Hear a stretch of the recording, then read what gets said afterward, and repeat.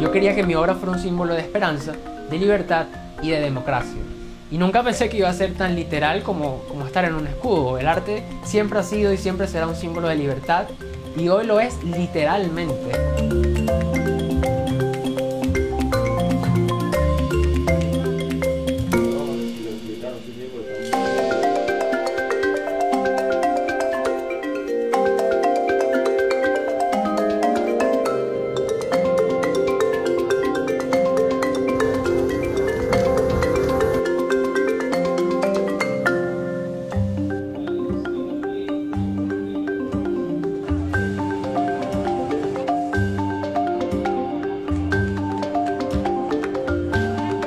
Que me ha dicho, oye, pero ¿cómo te vas a sentir si le dan un perdigonazo o destrozan una de tus obras ahí?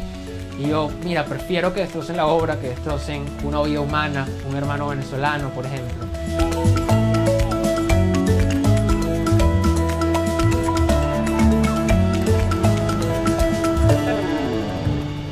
Yo quería que mis obras fueran un reflejo de esperanza.